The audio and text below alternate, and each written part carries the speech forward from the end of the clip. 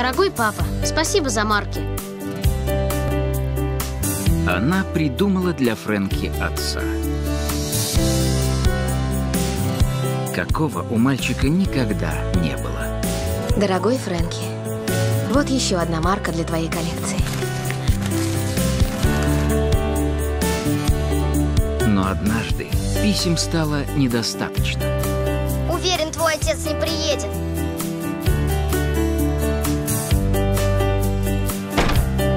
И знаешь, папа, я заключил пари.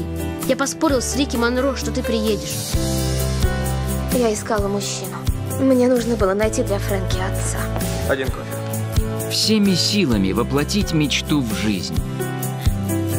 Хотя бы на один день. Эмили Мортимер. Джерард Батлер.